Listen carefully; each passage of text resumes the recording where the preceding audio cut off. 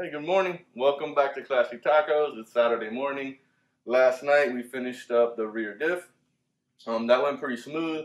I did make one little small mistake, which I'll go over when I ran the lines. It looks like ARB wants you to use the compression fitting at the diff bulkhead, and I used the quick release, and they want you to use the quick release over at the solenoid. Other than that, that install went pretty smooth.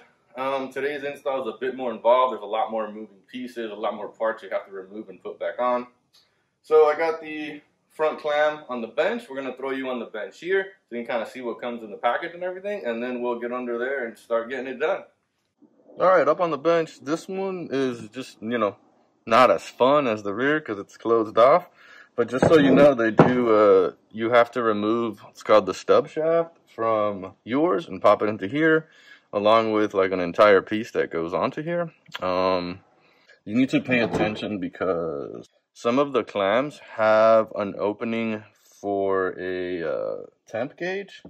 Uh, looks like it's one of these somewhere. I think it's, let's see, it might be, no, that's the three.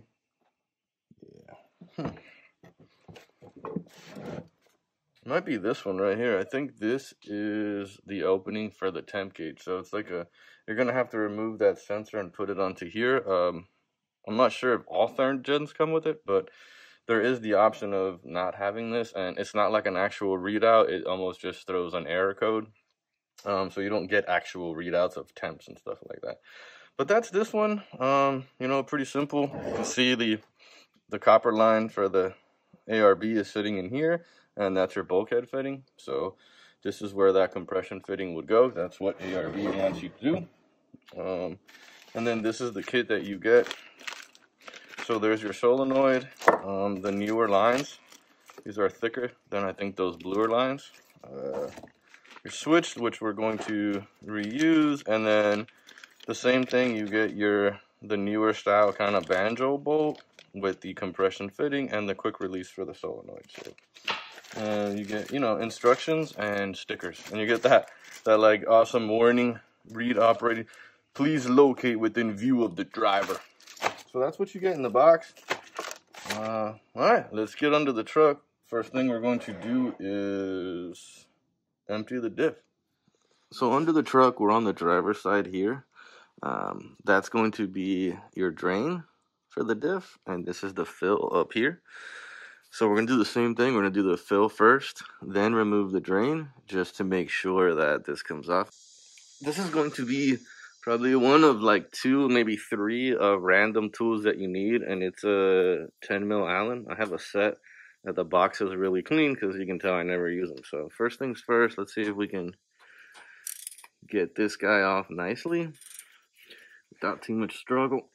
Sometimes they put these on really tight, guys. There we go. So that one broke. Alright, those are off. That's draining. I'm going to take these off real quick and clean them. All right, so moving along, the diff now is completely dry, drained out. We're going to start with potentially the most hated part in the automotive industry, which is this cap. Maybe uh, closely right behind a rear main seal if you don't have a two-part rear main. But anyways, this is cap needs to come off, and it's a huge pain. Um, it looks like previous owner here put a hole in it, so appreciate you, whoever you are, previous owner. Thank you so much.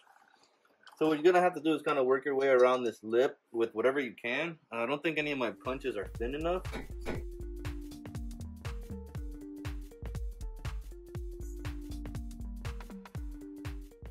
I did the cap. I also got the cap off on the other side. I kind of spared you guys from watching that struggle. So that cap is already off. Now I'm going to kind of start this assembly here.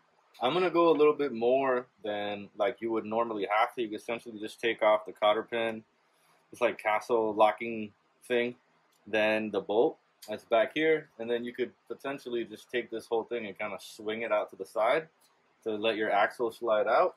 Um, I'm gonna go a little further. Like I have to take off the brackets here for the ABS, the actual ABS sensor. There's another bracket back here that's got to come off, um, and then we're gonna take off the tie rod end here and pop this off and essentially the whole thing will just kind of come apart and that way we can test out the new spindles. This is one of those randoms that you might not have, so just be prepared. This is a 35, um, and this is a 3/8, so I actually have a 3/8 extension, half inch to 3/8.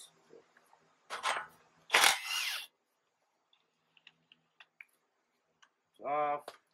Now what we're gonna do is just kind of leave this like this, so we don't really mess up any of the threads.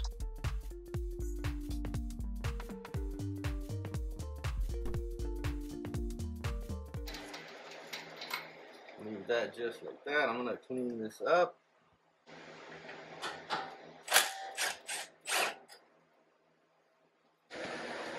Kind of coming in at a bit of a weird angle here, so I'm gonna use a pick tool instead of that little screwdriver to be able to kind of get underneath the little clip and pull out. All right, that one is out. And then there's a bolt right here that looks like another 12, and I believe that should free the entire uh, module here. Okay. Awesome. So up next, let's pop this guy off. We'll work down here. And we are almost set. So let's get this guy off next.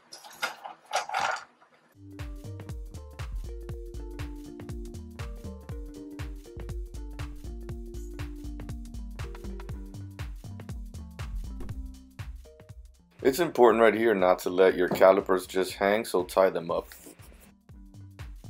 Alright guys, so the only way that I was actually able to pop this off, all the amount of hitting didn't work. I found these two random bolts that just fit these holes nicely and then you kind of go back and forth screwing them in until it pops off. So that got off, so we're going to keep moving.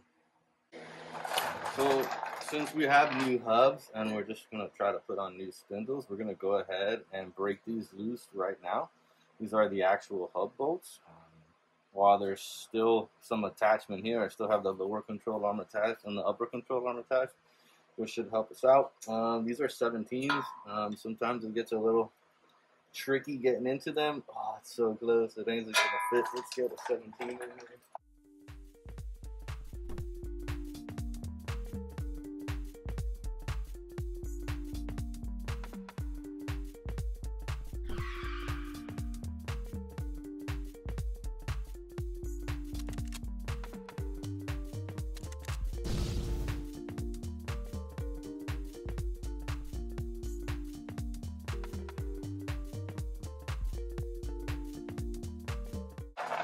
Right, so sitting here just like this, we got the whole spindle out, and now we're just gonna pop the axle off.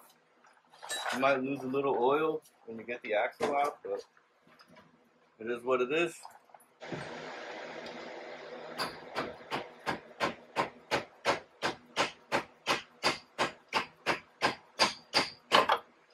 Alright, now we're at the point where I think I can grab it and get it off.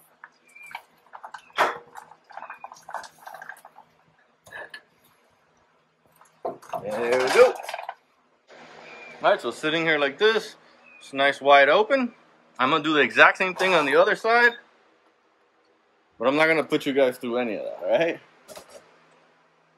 Alright guys, just want to catch up with what's going on here. Uh, I took a break for a second from filming the front diff and removing that so that we can test fit the new uh, spindles with the all pro gussets. I just wanted to make sure that they cleared um, the rear of my wheels. They did. So I went ahead and just installed the new hub and the new seal on it and I left it off to the side. Everything is up and tied up with the axle shaft still off so that when it's time to remove the diff, we're good. Um, I'm going to run through this whole process on the other side and what I might do for that process is do it on the spindle install video. Alright, first thing we're going to do is try to uh, break the drive shaft loose.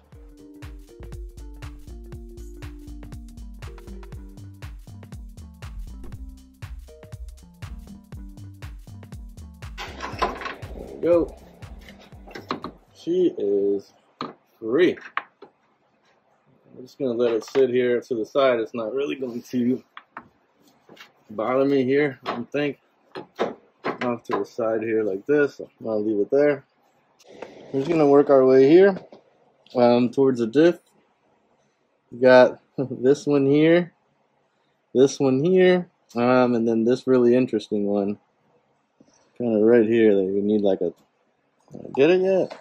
This one right here, you need like a 12 uh, so it's kind of interesting bolt here. So, so we're going to pop this one off first. Uh, this is a weird one. Um, it is a 12 Allen, so I just want to make sure you have it. Um, I just have an impact grade, so you don't have to have that. Just have a 12 Allen. See it? Kind of an odd nut because this bolt kind of slides into here and it kind of locks it into place. All right. Then moving up here, these are 22s. Um, there is a nut above. Um, sometimes you'll get lucky and it'll just pop off anyways, but let's see. So it looks like the nut above it is a 19 and this is a 22. All right, so now what I'm gonna try to do is really just see if I can reach around and disconnect the connections above. I've got that's the temp sensor right here that I was talking about earlier, so we're gonna disconnect that, kind of remove these clips. We're gonna get through here um, before we drop it because there's a connection up above too uh, for your diff breather. So you're gonna want to find that and release it. So I'm going to try to do that right now real quick. Um, everything, if you look, it's just kind of, see, sitting here kind of moving. It's just hooked by this one bolt right here. Don't mind all the dirt. Um, this has to get removed. Um, once this is unplugged, we could then remove this, transfer to the new one. And then if you look right up in here, it looks like there's a wiring harness here, which is the attachment for here.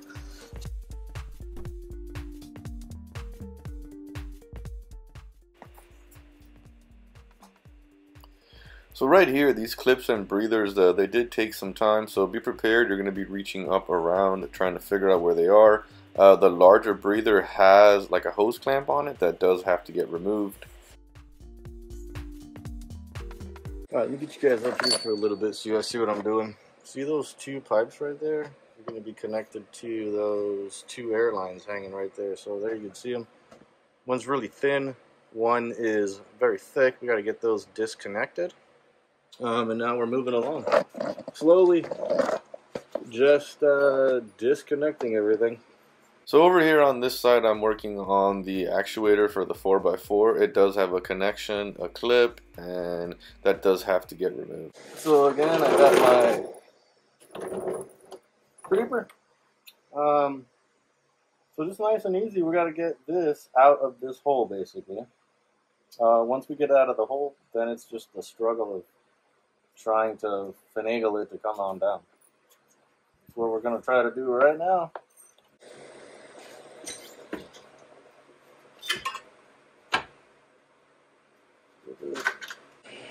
This is uh, where it requires a ton of patience because this fit in here is fairly tight.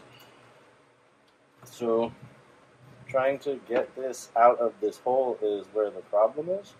Um, it's not very friendly or easy and not very easy to just kind of lift like straight up as you can see here.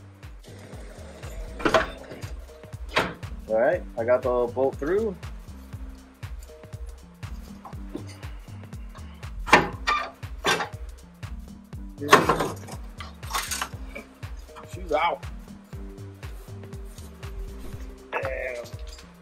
Where's my creeper? That was fun. All right, so here, here's real quick what it looks like um, completely off I'm just kind of sitting on the creeper here. I wanted to go over a couple things that you're going to have to switch over onto the new uh, clam. So basically, this entire kind of shaft going this way is going to come off with these four bolts. These are kind of oddballs. Uh, I believe they're called reverse Torx or inverted Torx or exterior Torx um, because it's on the exterior side of the bolt. So you're gonna need one. You're gonna need sockets to have it on the interior side. I know it's a pain, but you know you really don't have these lying around too much. So make sure you have those. Um, this whole thing comes off. There's a shaft in here that's got to come off and get attached. So all of this can stay because it's just going to get put onto the new one. And coming this way, this is coming off because you need um, these hoses. This was the little tiny one and the thicker one up at the top. Uh, it looks like one is a breather for your four-wheel drive actuator and the other one is just the regular breather. And sliding this way, these three got to come off because we're going to bolt this onto the new one. Um, that's your, your fill. Um, your drain plug needs to come off as well. That one's all the way kind of tucked on there, so you're going to remove that one. And then if I flip this over here, that's why the creeper works so well. Back on this side, so this here is towards the passenger. This is the temp sensor that points towards the passenger.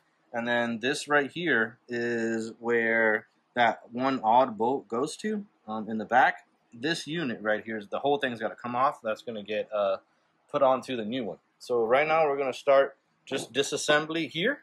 Um, and then we'll put everything on the bench and we'll get everything together up on the bench.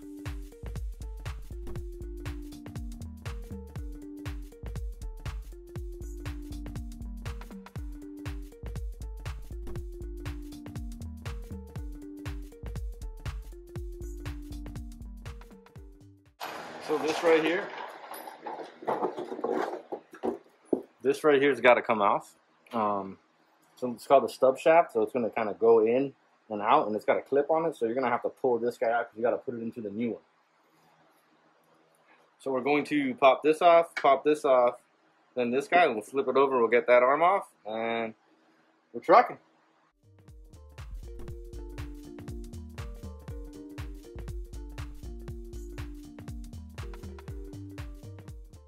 Alright, so up until right now, everything's been, you know, pretty easy to remove. Um, that stub shaft can be a bit of a pain. So, I'm going to tackle that one next. Don't forget the washer, right? See that? It's like a little copper washer in there. It's like a crush washer. So you can take that with you. There's several different ways to do this. If you have a small enough pry bar that can kind of get behind there and kind of pull both at the same time, which is what I'm going to try to do. Um, and we're just going to kind of see how it works, take it from there.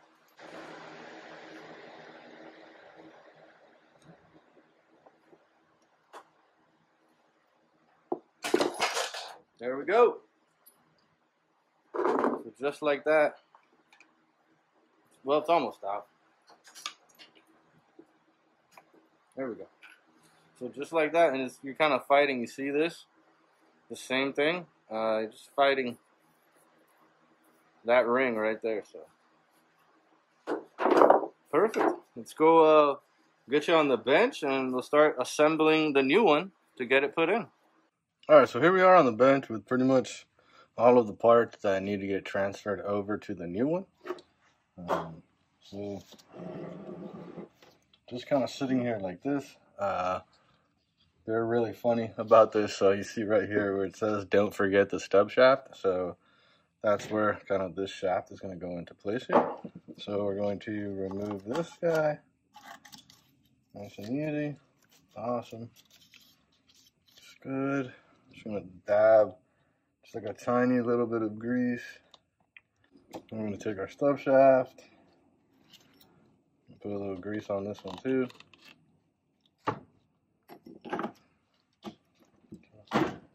Drop it and mallet. There you go. That guy is in. Uh, it's one a nice little just tap, make sure it's all the way in. I like it. I'm going to take our temp sensor. I just want to get it nice and clean. Alright, so temp sensor is going right in here. Sometimes be careful because when they paint, they might get a little bit of paint on the threads. There we go. Just want to make sure it hooks on there nicely.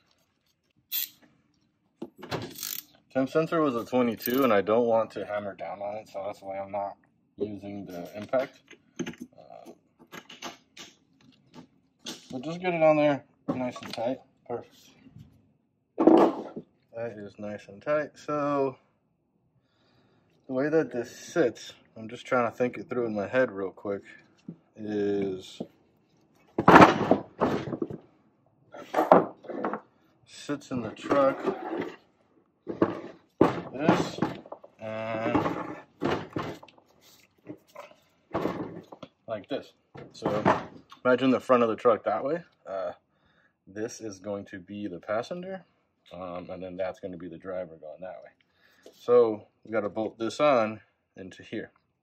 And we know that this shoots forward. So this is just going to sit basically like this uh, right onto here. I do recommend taking the time to kind of clean this up. So that's what we're going to do right now is uh, clean this whole surface, clean this whole surface. So I just have some alcohol. I'm just cleaning this outside here with some alcohol. Just want to get all the crusties off.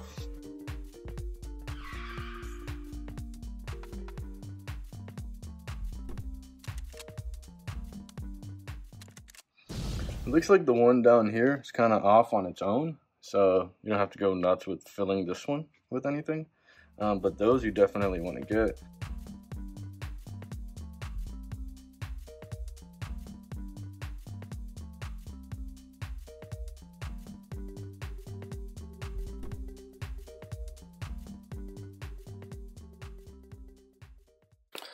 Right here, you watch me put the breathers in. I'm going to just go ahead and say, do not put this bracket in right now. It's going to get in the way of installing it, which, you know, I found out later. So just don't put this in. Uh, you're going to have to do this once the diff is in the truck. I'm just cleaning the drain and the fill. Then I'm going to do a wipe down where the axle goes on the seal and grease that. And then I'm getting that one long arm in with blue Loctite on the threads.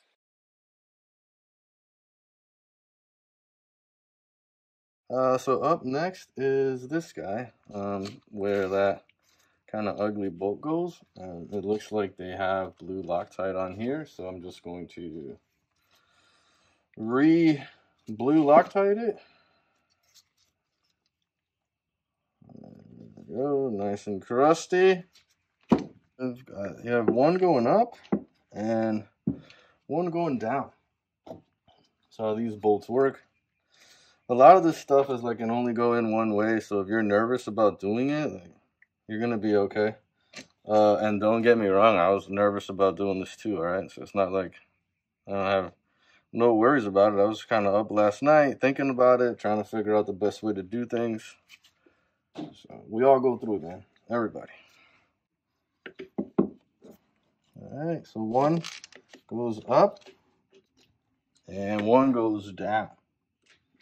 Get them both kind of threaded and started before you kind of hammer down tighten.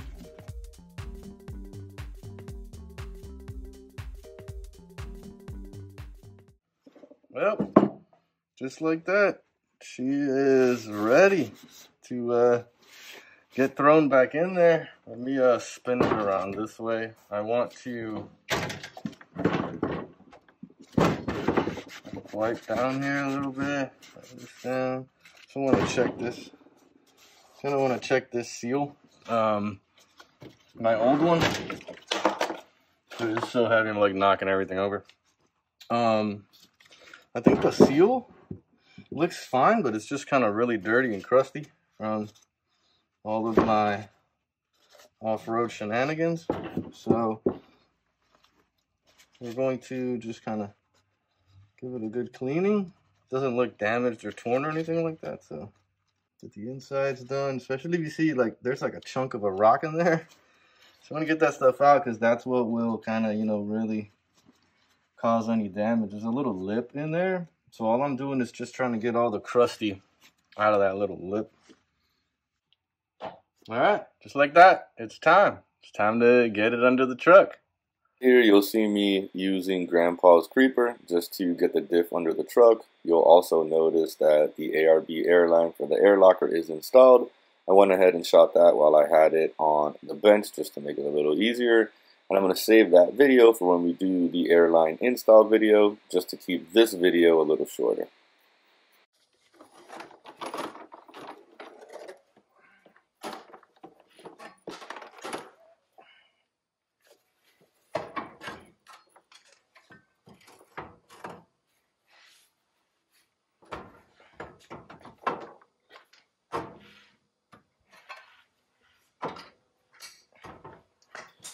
Right about here is where I start to realize that the bracket for the breathers are really getting in the way and not allowing me to uh, get the entire diff up there. So what I'm about to do here in a second is I'm going to try a little bit more and then take it down and actually remove that bracket.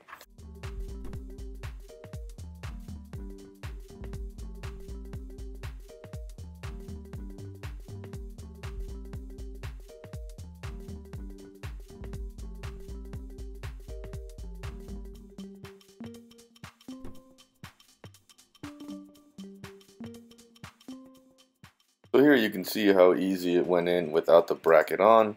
And, and then I'm trying to maybe try and get the bracket on here while the diff is still down. But this didn't work either because it was getting in the way of the steering rack. So I actually had to install the entire diff and then reach above and get the bracket back in. And this right here, reaching above, was the worst part of the install.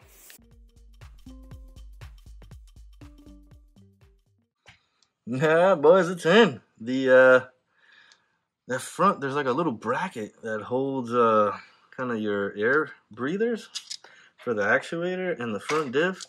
That thing was just getting hung up on everything so that was a little bit of a pain but other than that it's in. I'm gonna just start tightening everything down now.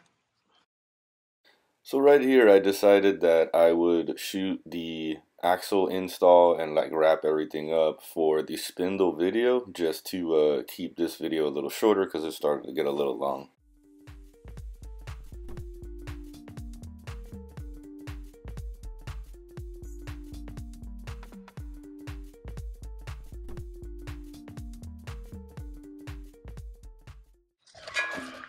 we're good there. I got the line, kind of the airline just sitting here. I'm gonna figure. Alright guys, we just wrapped up. It's a Sunday morning right now. I ran out of time yesterday on Saturday.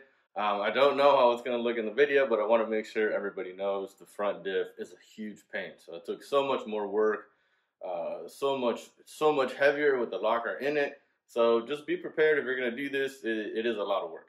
Um, that being said, other than just like the struggle of getting everything in and out, it didn't go that bad. Um, I did add some more work by trying to throw the new spindles in at the same time. So if you're not dealing with spindles, it might not be that bad. Because even though it sounds like just an easy swap, you're kind of taking everything from the old spindle, putting it onto the new one. Especially the hubs, those hubs take forever because you can't actually get anything in to screw them down well. So you're just kind of going one by one, little turn by little turn. So that took a while. So this should be video number two. So we're gonna do, just to give you guys an idea, we have the rear video, the front video. I'm also going to do a video of running the electrical for the solenoids and then running the airlines for the lockers. And then I'm gonna do a follow-up video on that for like, you know, just how I feel about the 529s and the lockers and what's driving been like. I have been monitoring the rear diff stock, the temperature when I stop. So I'll kind of kind of compare driving uh, for that break-in period of 500 miles, whenever I stop and let it cool down, I kind of want to see where it's at in comparison to stock. So I'll be doing that, and I'll do a video on that. And then I will also do a video separately just to for the spindles because RC Fab needs his own video because those spindles were awesome. So I hope you enjoy. If you have any questions or you need anything, just let me know down below. Just be prepared. If it looks easy on this video, because I don't know yet, it was not easy at all. So you guys be good. Stay safe out there.